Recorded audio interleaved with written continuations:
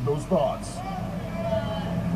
Kind of fitting the way it ended. I mean, all the years when it looked like they were going to win and it, for whatever reason, didn't happen.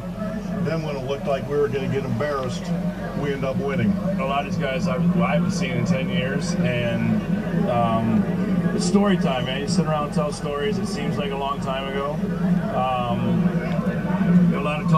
Wake. You know, obviously we all miss them and how much you love this, but uh, it's just gonna be a great couple days. Actually, I want to play again because I need 400 hits for 3,000. I think they need my bat.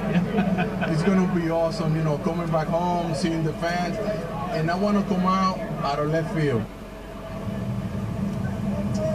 Ah, that's just Manny being Manny. And this today, for the fans and for the players, there's going to be a lot of cheers, going to be a lot of tears, because today is going to be a memorable one. And Paula, guess what? I brought my batting gloves. I know what you're saying. Why'd you do that, Levin? Well, because just in case they need some help, which they don't, but if they do, I'm ready. And it's better to be ready than not to be ready. So guess what? I'm ready to go. Put me in coach. You know, I'll sing this song to get out there, but I'm ready to go, Paula. Hey, you never know when they're going to need Outside. Fenway Park.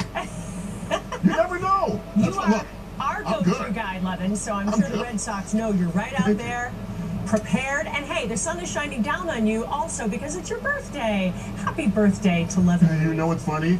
Thank you so much. Thank you so much. The fights I've had with Mother Nature on opening day have paid off today. The universe is smiling upon you. Happy birthday, my friend. Thanks, Levin. We'll see you a little later. Enjoy the game. Now the next weather, and it is per- picture perfect baseball weather. It is going to